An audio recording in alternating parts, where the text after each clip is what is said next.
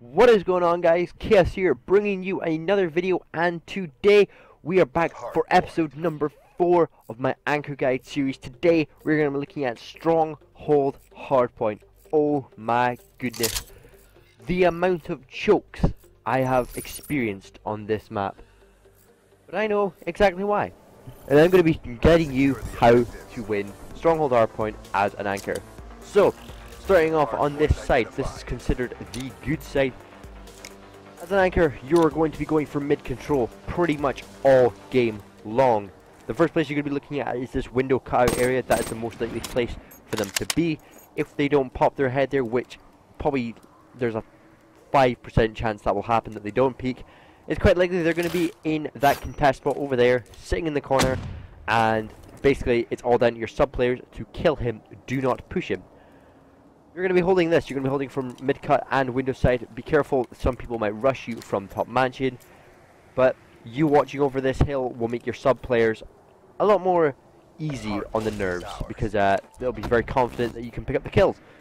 Spawning from the other side, pretty much just the exact opposite. Going in this window, cut killing off the player that's in uh, fireplace. Watching your top mansion. However, at 25 seconds, you are going to rotate all the way through bunker. I see people trying to rotate through mid.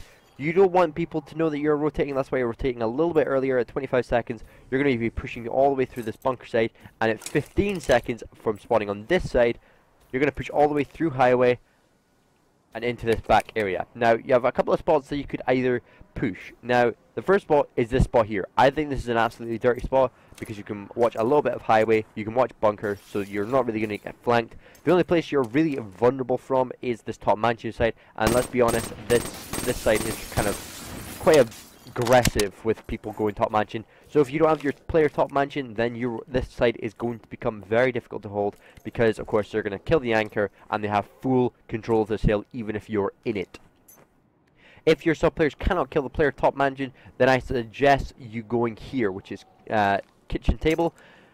This is all the way so you can watch Warren and you can watch your top mansion. Again, you're very vulnerable from the actual anchor spot itself, so be wary of that. At 25 seconds, you're going to push all the way through here. Don't push through rocks. You Again, you don't want people to know you're rotating. You want to push all the way around this outskirts, either going on this wall run or challenging and going all the way around, either in satellite or in the back, because your anchor spot is going to be all the way back here. Depending on where your team is spawning, if your team is spawning bunker, then you want to be sitting here, watching satellite. Your team will have mid-cut. If they, if your teammate calls out someone's uh, rushing mid-cut, do not challenge him. Run away and get some, some ground. You're in such a bad position to be challenged from mid-cut, so don't challenge anything from up there, otherwise you're going to be watching the satellite. If, however, you are spawning in this area, then you want to go all the way back here and sitting on this back truck. Not the greatest head glitch in my opinion, but it does work for some people and it does sometimes work for me as well. You can watch mid-cut and you can watch satellite. If all else fails and you're struggling to pick up kills, you can always sit all the way back here where you can watch outskirts and you can watch mid-cut. You can't really watch satellite, but you can just go on the other side. But this spawn right here is essential because this and the next hill after this is rocks. And you need the same spawns. So these net last two hills, this hill and the last one, these are your two hills that you can pick up probably the most time if your anchor is playing well. For this hill, you're not going to be sitting in the anchor, you're going to be sitting all the way back here, and you're going to be basically just watching over. You could probably head glitch on this satellite bit here and watch top mansion.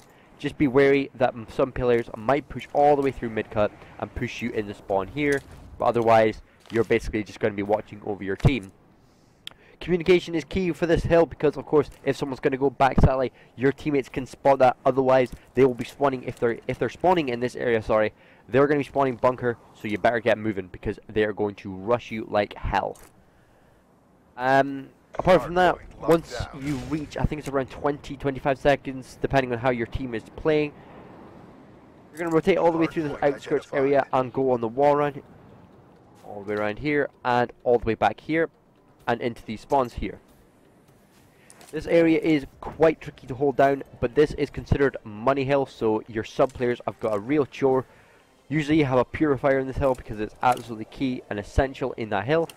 If your team are spawning in this area, then you can just sit on this head glitch here and you can pick people off that are peeking bunker, otherwise you can just sort of lie down and just sort of hold down highway or mansion side.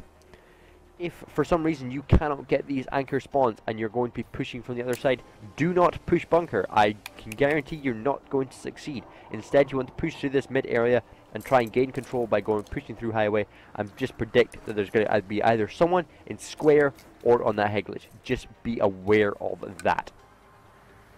Again, at around 10-15 seconds, you're going to want to rotate through this highway and get mid control.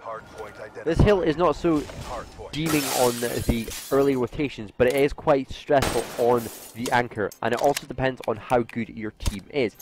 If your sub slayers are struggling and your objective player cannot pick up the time, then your anchor will become useless because of course if they have the hill, your anchor spots are going to be completely useless because there's going to be no one to actually support actually holding the hill. As such, be wary, you may end up having to become an AR Slayer and if necessary have a subclass on if you're an anchor for this map because of course you may have to pull the sub out and you may have to actually you know assist your team. So overall this map is not the mode uh, the trickiest one but in my opinion the third and fourth hill Rotation is key and a lot of stress is going to be on you even if you don't get any of the first two hills, any time on it. You can make a lot of time if you can hold this anchor spot very, very well. It all depends on how well your team is playing.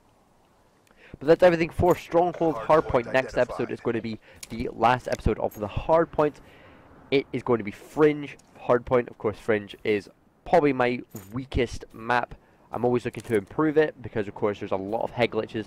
But we will get to that in uh, next episode, which will be next Monday. Thank you very much for watching. If you enjoyed the video, then make sure to press the like button and make sure to subscribe to the channel uh, so you don't miss that video. And yeah, that's everything from me. My name is Mr. Chaotic102, and I'll see you all in the next video. Goodbye, everyone.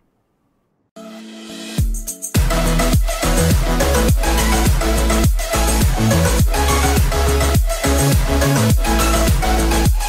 Thank